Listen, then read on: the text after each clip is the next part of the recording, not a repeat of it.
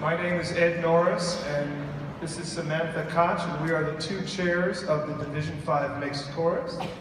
Um, unfortunately, Sam is, is battling laryngitis, which is why she's not talking. I'm out of mic home, she just can't speak.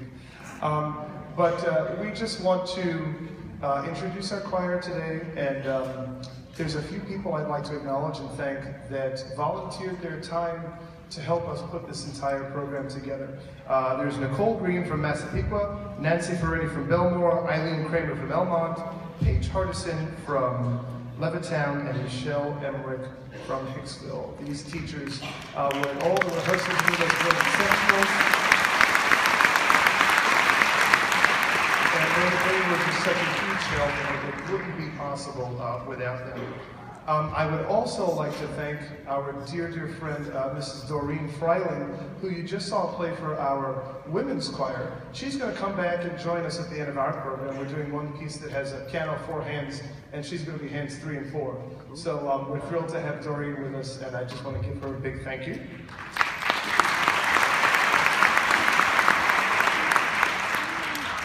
Your children have had quite a musical journey over the course of this week.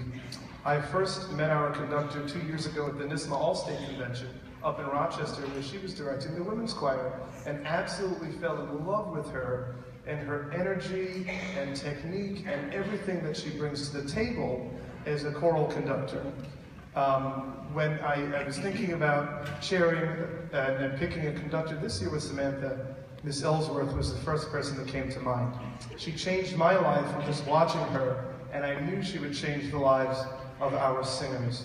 She comes to us from Northwestern University, and I'm very thrilled to introduce our Division 5 Mixed Chorus and their conductor, Ms. Emily Ellsworth.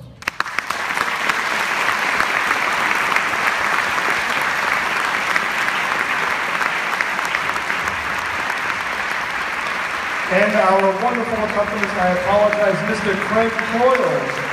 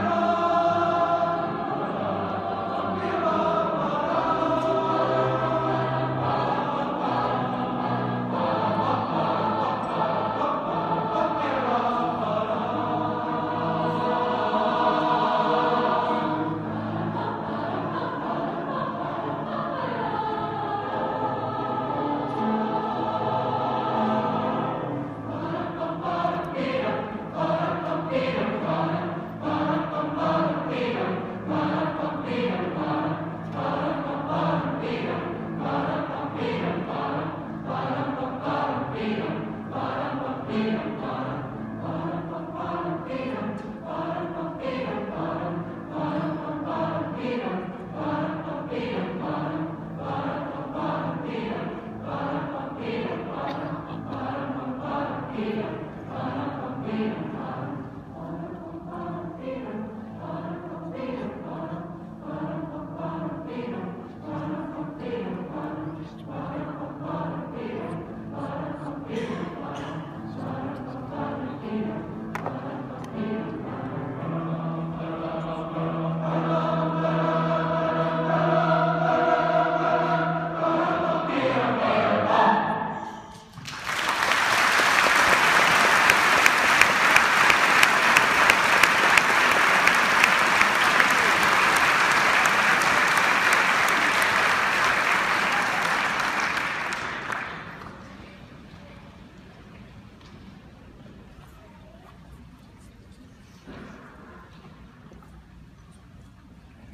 Keep this very short. Yeah, you've heard that before, but I really will keep it very short. Va Pensiero is the unofficial national anthem of the country of Italy. Even very recently, a politician there has recommended that they vote to make it so. It is much more beloved than the actual national anthem of Italy. It was written in the 19th century, part of an opera called Nabucco, which uh, has this chorus being sung by a chorus of Hebrew slaves as an oppressed people. One source calls it a um, barely voiced utterance of a captive people. What a beautiful, beautiful sentiment. The Italians seized that, they weren't yet a country, and it became a rallying cry, which to this day is still beloved and sung by Italians uh, all over the country. I just want to end my, um, say a few remarks thanks to all of the people who put this together. This is a monumental feat. It really takes a village. Those of us who are music educators use music as a vehicle through which to teach what excellence feels like, that hopefully young people can take into any endeavor and understand what it feels like to sing with an attention to detail, with discipline, with a, with a sense of really paying attention to detail rather than just broad strokes. We've tried to get as many details as we could in a day and a half, and the kids have worked very, very hard. Music also opens the world and its diversity to all of us who are privileged to spend our lives dealing with it. We step into pieces that are two, three, four, or more minutes long from a different time period, from a different culture. We sing it, perform it with as much understanding and respect as we can. We step back out the same people that we are with the same belief systems and the same sense of centeredness, but hopefully just a little bit better, a little more understanding of the world and its people. Thank you so much for inviting me. I've had a great time.